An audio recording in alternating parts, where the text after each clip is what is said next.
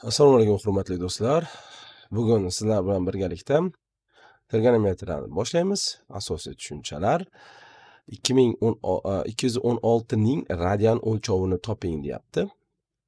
Demak, radian o'lchovga topish uchun pi taqsim 180 ni ko'paytiramiz 216 gradusga. 36 ga qisqartiradigan bo'lsak, bu 6, bu 5 bo'lar ekan. Demak, 6 pi taqsim 5. S javob variantimiz. Qaysi javobda manfiy son ko'rsatilgan? Mana bu uchinchi to'rtinchi chorakka tegishli ekan. To'rtinchi chorakda manfiy bo'ladi. Bu birinchi chorakka tegishli ekan. A to'rt gradus to'rt radian ekan bu. To'rt radian taxminan ellik yettiga ko'paytiriladigan bo'lsa ikki yuz yigirma sakkiz bo'ladi. Ikki yuz yigirma sakkiz uchinchi chorak uchinchi chorakda manfiy bo'lsa musbat bo'ladi. Demak a javob emas. Tangens ikki gradus ikki gradus emas ikki radian ekan. Demak ikki ko'paytiruv ellik yetti gradus taxminan bir yuz o'n to'rt. Demak bu ikkinchi chorak ikkinchi chorakda manfiy ishorasi. Katangens e, olti oltini endi ellik yetti ko'paytiramiz ellik yetti gradusga uch yuz uch yuzga e, qirq ikki uch yuz qirq ikki uch yuz qirq ikkida to'rtinchi chorak to'rtinchi chorakda buni ishorasi manfiy bu ham musbat ekanda va javob ham emas ekan.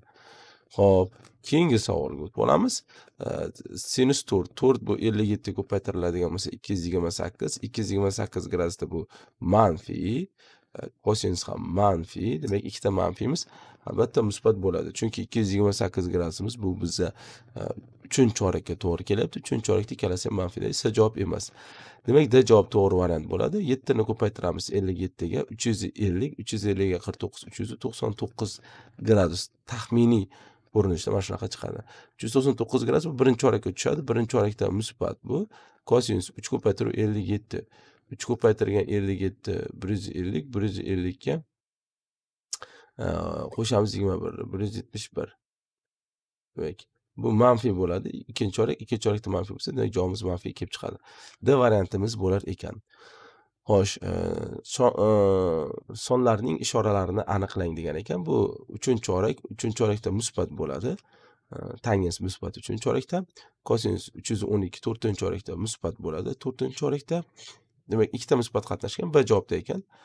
Uchinchisi endi to'rtinchi chorakda bu ham sinus to'rtinchi chorakda manfiy bo'ladi. Ho'p p bir nol nuqta ikki yuz yetmish gradus burilishda ikki yuz yetmish gradusga burilish burishdan hosil bo'lgan nuqtani toping debdi. Bir nol nuqta mana bu yerda bo'ladi.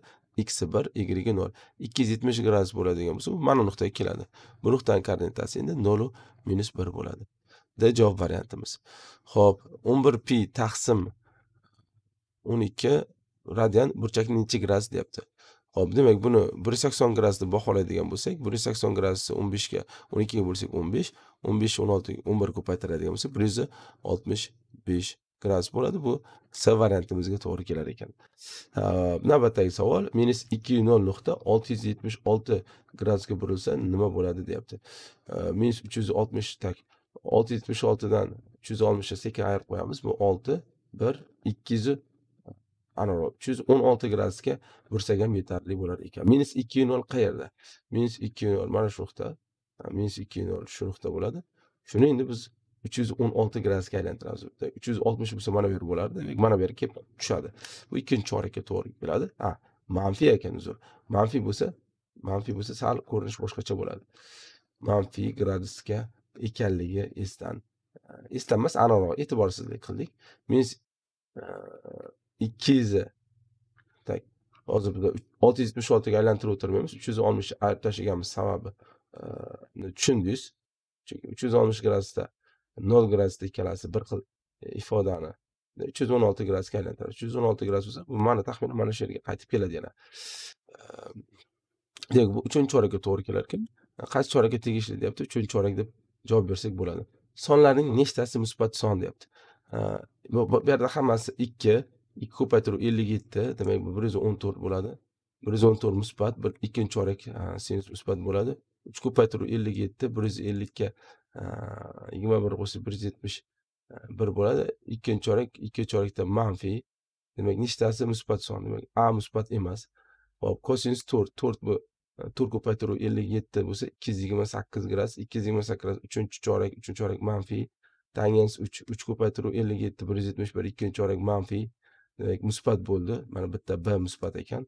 Hop tangens ikki gradus ikki bir yuz o'n to'rt ikkinchi chorak manfiy to'rt to'rtta ko'paytirsa ikki yuz yigirma sakkiz musbat uchinchi chorakka to'g'ri kelyapti. Uchinchi chorakda kotangens musbat bo'ladi demak bu ham to'g'ri kelmaydi. Sinus uch bu sinus uch e, bir yuz yetmish bir ikkinchi chorak musbat bu ikki ikki bir yuz o'n to'rt ikkinchi chorak manfiy nisbati manfiy bo'ladi demak nechtasi. Bitta a bitta ekan a javob variantimiz bo'ladi. Qaysi chorakdan olingan barcha alfa burchaklar uchun sinus alfa kosinus alfa ifoda musbat bo'ladi debdi. E, kosinus alfa sinus alfa e, musbat bo'ladi deb savol bergan ekan. E, demak bu musbat chiqishi uchun nima bo'lishi kerak? Kosinus musbat bo'lishi kerak sinus manfiy bo'lishi kerak. Shunda musbat chiqadi. Hop yaxshi. Bunda qaysi bo'ladi bu? Kosinus musbat sinus manfiy bu qaysi chorakda? Qaysi chorakda kosinus musbatu sinus manfiy birinchi chorakda ikkalasi ham musbat ikkinchi chorakda kosinus manfiy sinus musbat uchinchi chorakda sinus manfiy kosinus ham manfiy va to'rtinchi chorakda sinus kosinus musbat va sinus manfiy demak to'rtinchi chorakka to'g'ri kelsa shu javob bo'lar ekan ushbu chorakda shunaqa bo'lar ekan ho'p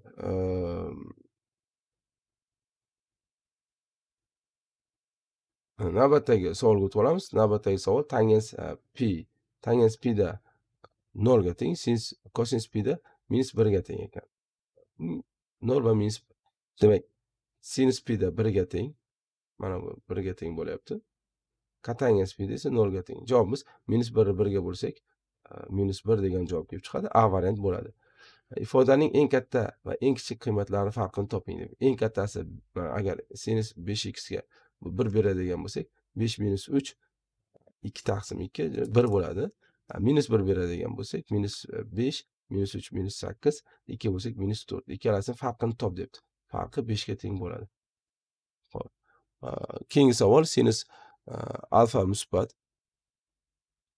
Tangens alfa manfiy bo'lsa qaysi chorakda tegishli deb aytilyapti endi sinus musbat musbat manfiy manfiy tangenschi musbat musbat manfiy manfiy hop birinchi chorakda ikkalasi ham musbat sinus musbat tangens manfiy va как раз mana qaysi chorak ekan bu? Ikkinchi chorakka to'g'ri kelyapti ikkinchi chorak. B javob variantimiz bo'lar ekan.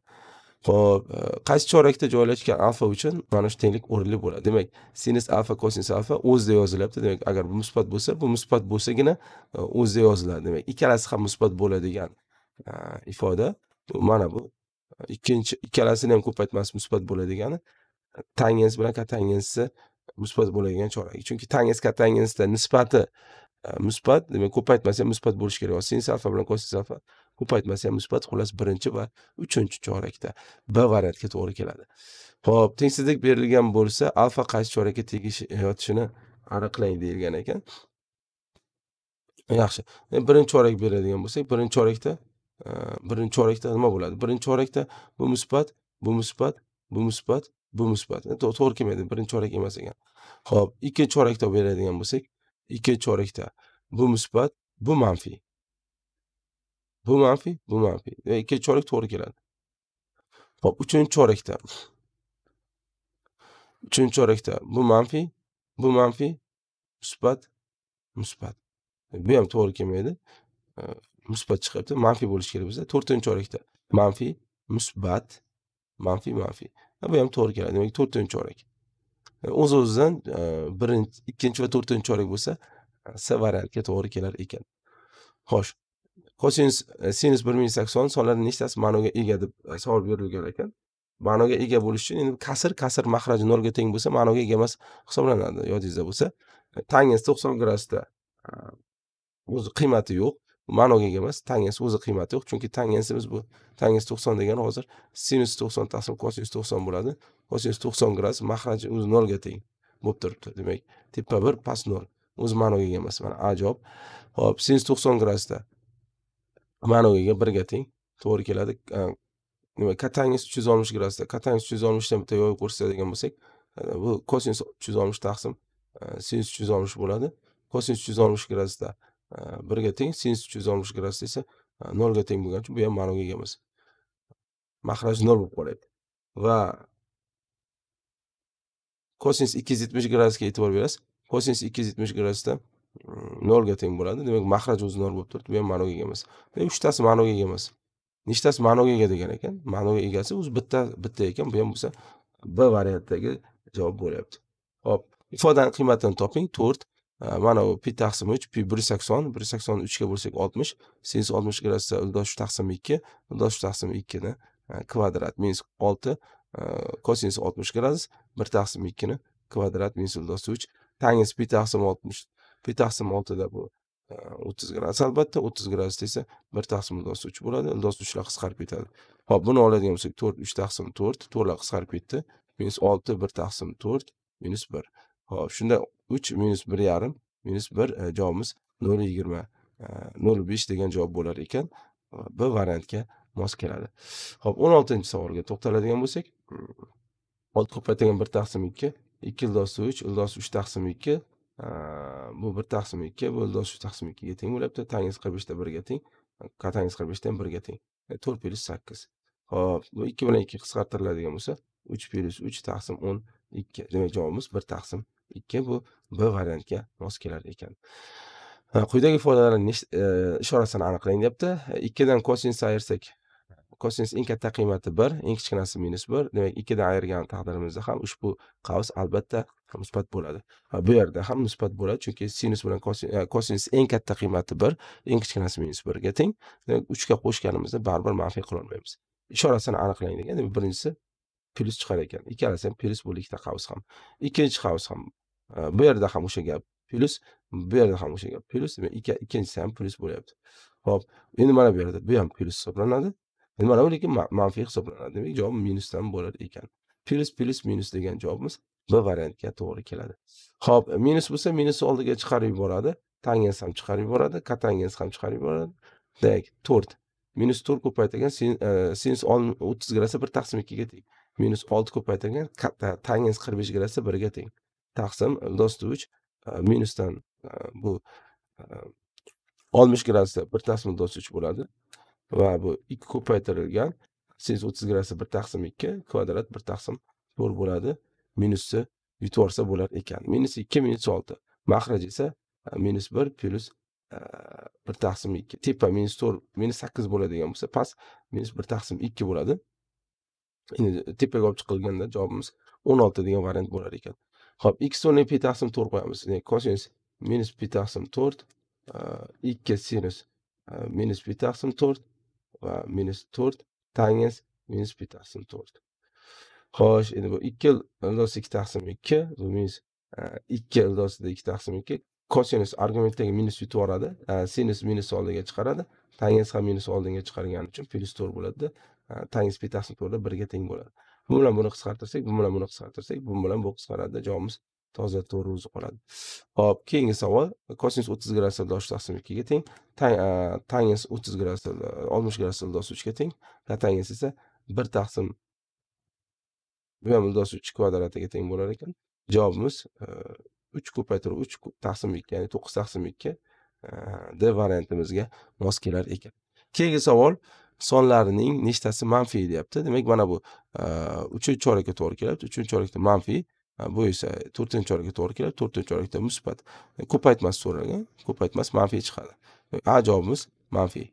Ho'p ikki yuz o'ttiz to'rt gradusda e, uchinchi chorak bo'ladi uchinchi chorakda manfiy tangis bir yuz besh bir yuz uch gradus ikkinchi chorak bu ham manfiy ikkitasini ko'paytmas musbat bo'ladi. Ho'p to'rt yuz to'rt yuz yetmish to'rt yuz yetmish gradusdan sal sekin uch yuz oltmish gradus ayirib tashlasak bir yuz o'n gradus bo'ladi. Bir yuz o'n gradus ikkinchi chorakka to'g'ri kelsa ikkinchi chorakda kosinus manfiy bo'ladi. Bir yuz oltmish olti gradus bu ikkinchi chorak bu ham manfiy bo'ladi. Ikkita manfiy musbatga yuradi. Ho'p ikki yuz ikki gradus musbat bo'ladi uchinchi chorak bir yuz qirq yetti gradus ikkinchi chorak manfiy bo'ladi. Ko'paytmas manfiy bo'ladi. Bizdan nechtasi manfiy so'ragan. Demak a bilan d ikkitasi manfiy bo'lar ekan n butun soni uchun mana shu bo'lsa alfaning eng kichik musbat qiymatini e, toping deyilyapti n butun son uchun demak alfa e, bunday bo'ladigan bo'lsa bir ming sakkiz yuz yetmishni uch yuz oltmishga bo'lib yuboramiz e, yoki o'ttiz oltiga bo'lsak bo'ladi. Beshtadan bersak bir yuz sakson demak yetti bo'ladi. E, boya aytganimizdek yetti. Hop nol tushadi bir ming sakkiz yuz yetmish degan javob bo'lar ekan. Eng kichkina qiymati yetmish gradus. Xullas uch yuz oltmishga bo'lganda qoldig'ini top degan ma'noda savol berilyapti. Bu yerda ham xuddi shunday. Demak mana buni ikki pi deb yozadigan bo'lsak ikki piga bo'lib o'riladigan bo'lsa to'rt pi plyus uch pi taqsim besh desak to'g'ri keladi. Mana bu to'rt piga hosil qiladi va uch pi taqsim besh e, eng kichik musbat qiymatini toping deganligi uchun uch pi taqsim besh bo'lar ekan. Qaysi javobda manfiy son ko'rsatilgan deb e, savol so'ralgan ekan? Keling сразу s javobga o'taylik. O'n to'rt ko'paytirilgan e, bir yuz sakson taqsim uch oltmish bo'ladi. E, o'n to'rtni endi bu yerda nima bo'ladi? O'n to'rt ko'paytirilgan oltmish. Sakkiz yuz qirq bo'ladimi shunda endi. O'ntasi olti yuz bo'lsa yana ikki yuz qirq. Sakkiz yuz qirqni shuni uch yuz oltmishga bo'lib yuboriladi uch yuz oltmishga bo'linsa yetti yuz yigirma yigirma bir yuz yigirma bo'ladi. Bir yuz yigirma kirasizda bu manfiy chunki ikkinchi chorakka tushadi. Kosinus minusni yutadi bilasiz va birinchi chorak bo'lgancha musbat. Ikkita manfiy musbat ko'paytmasi demak javobi s variant bo'ladi. Xo'sh e, nuqtani oltmish gradusga burganda qaysi nuqtaga o'tadi deb aytilgan ekan. O'zi bu e, bu alfa burchagi topadigan bo'lsa qayerda bu? X uch taqsim ikki ekan hop yigirmagacha bir taqsim ikki ekan. Ho'p demak bu e, o'ttiz gradusda shunaqa bo'ladi adashmasam o'ttiz gradusda e, demak kosinus o'ttiz gradusda qiymati losh taqsim ikkiga teng. Sinus o'ttiz gradusda qiymati bir taqsim ikkiga teng. Xabaringiz bor. Demak e, x bu sinus alfa x bu kosinus alfa y bu sinus alfa bo'ladi. Demak alfa o'ttiz gradus ekan. Mana bu o'ttiz gradus ekan. O'ttiz gradus ya'ni oltmish gradusga qo'shishimiz kerak bo'ladi. Oltmish gradusga qo'shsak bu mana nuqtaga o'tadi. Nuqtani koordinatasi x e, nol y bir bo'ladi. Nol bir nuqtaga o'tadi bu s javob variantimizga to'g'ri keladi. Oltinchi testimizda agar ikkinchi chorakda bo'lsa alfani soddalashtiring deyilgan ekan. Hop mayli hisoblab ko'ramiz. X sins alfa kotayin alfa bu kosinus taqsim sins bo'ladi. E, bu bilan buni qisqartirsak e, ikki kosinus alfa. Kosinus nima bu? Ikkinchi chorakda manfiy bo'ladi. Manfiy bo'lsa qanday ochamiz buni? Minus ikki kosinus alfa deb ochamiz.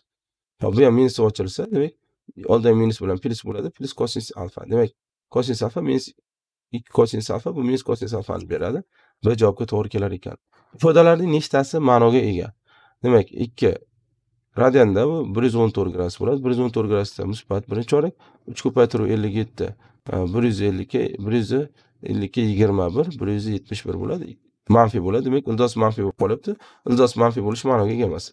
O'chirdik buni. To'rtinchi daraja. Ho'p bu ikkinchi chorakda musbat. To'rtinchi chorakda ikkinchi chorakda manfiy to'rtinchi chorakda manfiy ikkita manfiy musbat bo'ladi. Va javob to'g'ri kelar ekan. Ho'p endi bunga qaraydigan bo'lsak ikki yuz yigirma gradus farqi yo'q. Ildizni musbat manfiy bo'lishi. Chunki toq daraja. To'rt yuz yetmish esa to'rt yuz yetmish hisoblasak uch yuz oltmishdan olib tashlasak bo'ladi. Bir yuz o'n bo'ladi bir yuz ikkinchi chorak ikkinchi chorakda musbat bo'lgani uchun demak bu ham ma'noga ega. S ham to'g'ri keladi. Demak javob s nechtasi ma'noga ega deb savol berilgan ekan. Ho'p endi bu bir taqsim ikki cheks kamaychi geometrik progressiya bu bir taqsim bir minus q birinchi hadimiz sinus o'ttiz bo'lsa va u kamayib ketyapti. Minus sinus o'ttiz gradus ko'paytirish orqali. Bir taqsim ikki bir minus bir taqsim ikki javobimiz birga teng bo'lar ekan. C variant. Funksiyani qiymatlar sohasini toping. Sinus x eng katta qiymati bir eng kichkinasi minus bir bir qo'yganimizda ikkidan oltini ayryapmiz minus to'rt chiqadi. Minus bir berganimizda ikkiga oltini qo'shsak sakkiz bo'ladi. Minus to'rt bilan sakkiz. S javobga to'g'ri kelar ekan. Ho'p funksiyani qiymatlar sohasini toping. Kvadrat bo'lgancha eng katta qiymati bir eng kichkinasi nol bo'ladi. Bir bersak besh chiqar ekan. Uch plyus ikki nol bersak uch chiqar ekanda uchdan beshgacha. D javob variantimizga mos kelar ekan. Kosin alfa quyidagi nuqtalarning qiymatlarning nechtasini qabul qila oladi. Kosinus alfa demak birdan kattasini qabul qila olmaydi. Bu demak birdan kichik qabul qila oladi buni. Hop bir butun qirq bir bir butun qirq bir bir qo'shsak ikki butun qirq bir ikki butun qirq ikkiga bo'lsak birdan katta ekan demak buni qabul qila olmaydi. Bu ikkidan kattaroq son ikkidan kattaroq son ikkidan ayirsak birdan kichikroq son chiqadi demak buni ham qabul qila oladi. Bu buni qabul qila olmaydi chunki bu birdan nafaqat birdan uchdan katta son bu. Uch to'rtinchi sakson birda. Chunki demak qabul qila oladiganimiz o'zi nechta bo'ldi? Ikkita. Nechtasini qabul qila oladi deb savol so'ragan. Ehm, ifodaning eng katta qiymatini toping deyapti. Demak eng katta qiymatini topish uchun bunga bitta bir berib ko'ramiz. Ehm, bir berib ko'rsak ikki plyus uch uch plyus bir tepa ehm, besh bo'lsa past to'rt bo'lsa besh taqsim to'rt bo'ladi. Ya'ni bir yigirma besh bo'lar ekan. Minus bir beradigan bo'lsak ikki minus uch past esa uch minus e, bir bo'ladida. Shunda tepa minus bir bo'lsa past e, ikki bo'lsa minus bir taqsim ikki bo'lib qolar ekan. Demak bizdan eng katta qiymat so'raganligi uchun e, biru yigirma besh bo'lyapti. Kosinus alfa eng katta qiymati bir eng kichkinasi minus bir. Shuning uchun bir va minus birni tekshirib ko'rdik va mana shu tekshirganimizdan kattasini olishga harakat qildik. Bu x kamaychi geometri progressiyani tashkil qilyapti. X kamaychi geometri progressiya bu bir taqsim bir minus q mana shu to'rtga teng ekan. Kosinus x taqsim bir minus kosinus x teng bo'ladi bir taqsim to'rtga bu yerdan kosinus xni topadigan bo'lsak bitta proporsiyadan kelib chiqarsak bo'lar ekan kosinus ximiz teng bo'ladi bir taqsim uchga bir taqsim beshga o'zi bir taqsim beshga teng bo'lar ekan kosinus x bir taqsim besh bo'lsa bu b javob variantimizga to'g'ri keladi ning eng katta qiymatini toping deyapti demak kosinus alfani biza birga teng desak kosinus betani minus birga teng deyishimiz kerak mana bu ikkalasi esa koshi tengsizligiga ko'ra tangens kvadrati gamma kotangens kvadrat gamma ikkalasi ikki tangiz kvadrat gamma kotangens kvadrat. Gamma bo'ladida bular birga teng va ikkiga teng bo'ladi. Eng katta qiymatini hisoblaymiz endi. Besh plyus tepa yetti bo'ldi. Past ikkidan birni ayryapmiz bir bo'ladi. Plyus sakkiz taqsim ikki bo'lsa yetti plyus to'rt o'n bir. Eng katta qiymat o'n bir. O'n birdan katta qilish imkonsiz ekan. Ho'p endi bizlardan savol so'ragan ning qiymatini hisoblang deyapti tangens bilan kotangens yig'indisi tangens alfa bilan kotangens alfa yig'indisi ikkiga teng ekan u holda alfa qirq besh gradusni beradi ya'ni. Ikkalasi ham birga teng bo'lishi kerak shunda to'g'ri keladi ya'ni buni mana bunday olsak bo'ladi tangens alfani misol uchun a deb olsak kotangens alfa shunga teskari son bir taqsim a bo'ladi a plyus bir taqsim a barobar ikki bo'lib turibdi buni a kvadrat plyus bir barobar ikki a. A kvadrat minus ikki a plyus bir teng nol a teng bo'ladi birga a birga teng bo'lsa demak mana bu birga teng bu ham birga teng ikkita bir yig'indisi yana ikkini beradi. Xo'sh keyingi savolga to'g'rilanadi demak bu ikkinchi chorak ikkinchi chorakda e, kosinus manfiy bo'lganligi uchun bu kosinus alfa deb olib chiqsak bo'ladi. Ho'p bu bir minus kosinus kvadrat alfa kosinus kvadrat alfa bo'ladi. Bundan modul kosinus alfa chiqadi. Kosinus ikkinchi chorakda kosinus ikkinchi chorakda e, manfiy bo'lganligi uchun moduldan minus kosinus alfa bo'lib chiqadi. Bu bundanchi endi bunda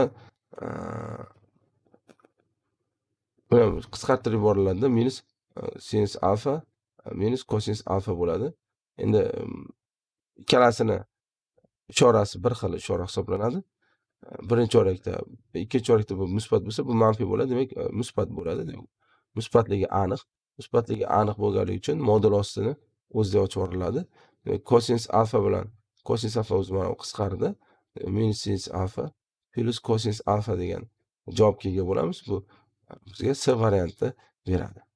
Keyingi savol. Demak bu manfiy ifoda chunki kosinus eng katta qiymati bir birdan to'rt ayirsangiz minus chiqadi. Xullas musbat qilish iloji yo'q buni. Ho'p endi mana buni hisoblaymiz. Logarifm ikki asos ko'ra x barobar uch x barobar ikkini uchinchisi ya'ni sakkizga teng bo'ladi.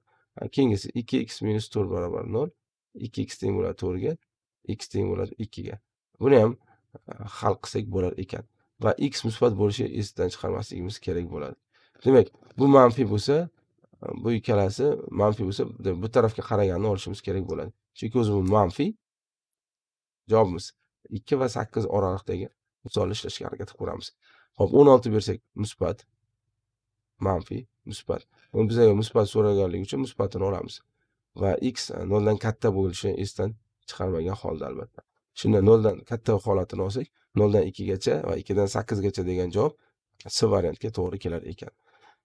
Keyingi savolimiz sinus kub alfa kosinus to'rt alfa musbat bo'ladigan bo'lsa sinus ni soddalashtiring degan savol kelyapti. Kosinus alfa bu sinus alfa taqsim kosinus alfa desak kosinusda qisqarib ketadida minus sinus alfa bo'ladi endi bitta narsaga e'tibor beramiz sinus uchinchi darajada alfa katta bo'lishi kerak kosinus to'rtinchi daraja alfadan e, katta bo'lishi kerak ekan agar gap shunaqa bo'ladigan bo'lsa mana musbatligi aniq. Bu musbat bo'lsa demak bu ham musbat bo'lishi shart. Alfa musbat bo'ladigan bo'lsa sinus alfa musbat bo'ladigan bo'lsa modul sinus alfa agar sinus alfani o'zi turibdi hozir. Bu musbat bo'ladigan bo'lsa minus sinus alfamiz plyus sinus alfa deb o'chiriladi. Ikkalasini ayirmasi mana bu nolga teng bo'lar ekan. B javobga to'g'ri keladi. Ho'p ikkinchi chorak bu ikkinchi chorak ikkinchi chorakda kosinus manfiy sinus musbat tangens manfiy demak manfiy bo'lsa minus kosinus alfa deb ochamiz. Rasm kosinus musbat bo'lsa sinus alfa deb ochamiz. Rasm sinus alfa minus tangens alfa taqsim tangens alfa. Hamda minus bir plyus bir minus bir javobimiz minus bir. B variantga to'g'ri keladi. Va so'nggi savol. Demak e, tengsizlikning nechta tengsizlik nechta butun yechimga ega deb savol so'ralgan ekan agar e, x mana bu. Bir taqsim ikkiga e, teng butun yechimga ega deyilgan demak mana manfiy manfiy bo'ladi doim manfiy bo'lishiga sabab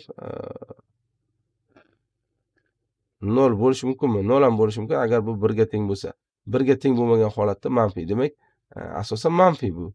Bundachi x kvadrat minus o'ttiz olti bu manfiy bo'lgandan keyin tengsizlik belgisi bu tarafga o'zgaradida x kvadrat kichik bo'ladi o'ttiz oltidan. Ya'ni e, x e, oltidan minus oltigacha oraliqda bo'ladi. Nechta butun yechimga ega ega deb savol so'ralgan ekan va e, endi bitta narsaga e'tibor qilib qo'yamiz. Kosinus px minus bir teng emas nol deb qo'yishimiz kerak. Kosinus px teng bo'lmasligi kerak birga. Px teng bo'lmasligi kerak ekan ikki pnga demak pilani qisqartirib yuborsak x teng bo'lsa yuz songa yuz songa teng bo'lmasa kerak shu oraliqdagi sonlarni faqat olamiz. Minus besh minus uch minus bir nol ham to'g'ri kelmaydi. Bir uch besh. Jami oltita bo'lar ekan. Ho'p shu bilan do'stlar ushbu mavzuga ajratilgan misollarimiz o'z nihoyasiga yetdi? O'zingiz ehtiyot qiling salomat bo'ling.